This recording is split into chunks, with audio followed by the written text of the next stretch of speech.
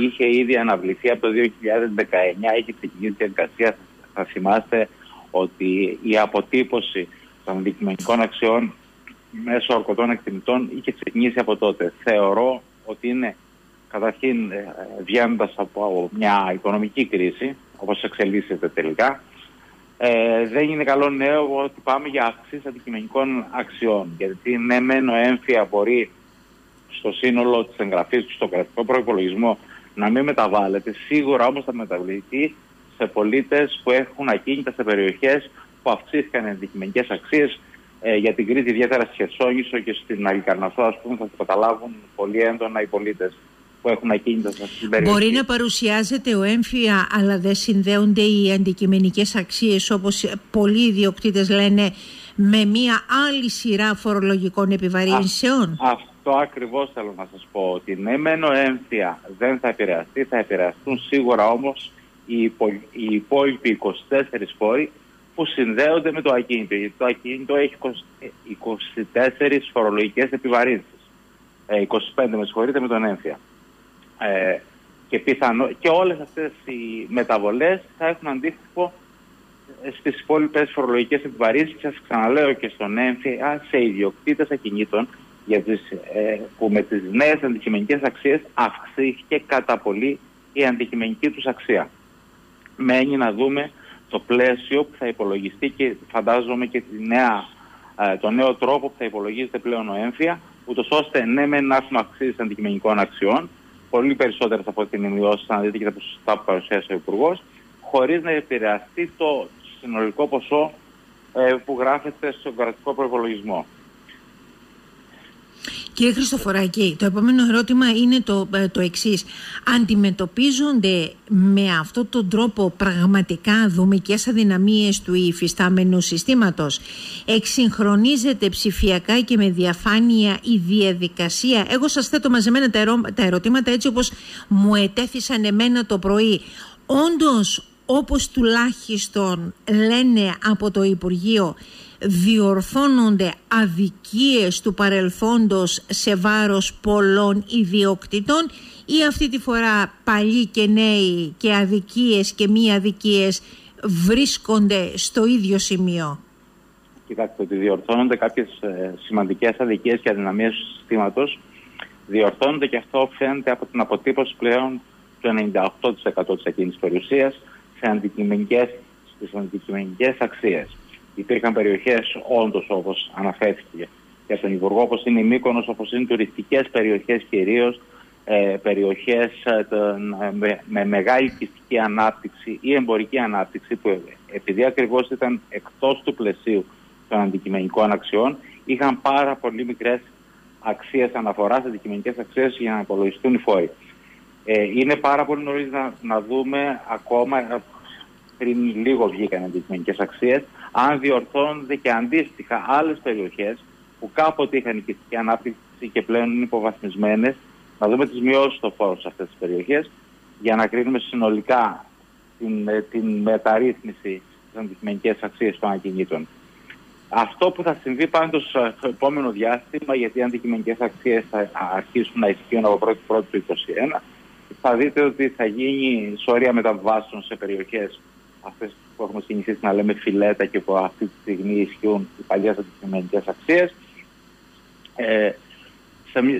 σε όσους είχαν τη γνώση, ήταν έτοιμοι ή είναι έτοιμοι να κάνουν μεταβιβάσεις ακινήτων. Σίγουρα η ψηφιοποίηση των αντικειμενικών αξιών λύνει ε, αρκετά ζητήματα γραφειοκρατίας. Ε, ακούστηκε στη συνέντευξη του Υπουργού ότι πλέον ψηφιακά θα μπορεί κάθε ιδιοκτήτης ακινήτου να εντοπίζει το ακίνητό του σε μια ειδική εφαρμογή που θα δημιουργηθεί και να βλέπει την αντικειμενική του αξία. Αυτά τα κρίνουμε θετικά. Ε, για τον έμφυα αναφέρθηκε επίσης το γεγονός ότι από του χρόνου η πληρωμή θα γίνεται σε περισσότερες δόσεις. Ε, οι πληροφορίες όλες λένε ότι ο έμφυα του 2020 θα κλείσει ε, το Φεβρουάριο του 2021 και αμέσως μετά από το Μάρτιο θα ξεκινήσει να πληρώνει το έμφυα για την επόμενη χρήση. Απαιτούνται μεταβολές και, νομοθετικά, και νομοθετικές ε, για να ισχύσουν όλα αυτά. Προς το παρόν έχουμε μια πρώτη αποτύπωση, θα χρειαστεί αρκετός χρόνος ε, πραγματικά να το δούμε στην πράξη πώς θα λειτουργήσει. Πάντως πρόκειται για μια τομή. Η ψηφιοποίηση την κρίνουμε θετικά σε κάθε περίπτωση, εφόσον είναι και σωστή. Ε, θα έχει ιδιαίτερο ενδιαφέρον. Και μένει να δούμε πώς ακριβώς, σα ξαναλέω, θα παραμείνει το ίδιο Μάλιστα. ποσό. Είναι, είναι ιδιαίτερα σημαντικό.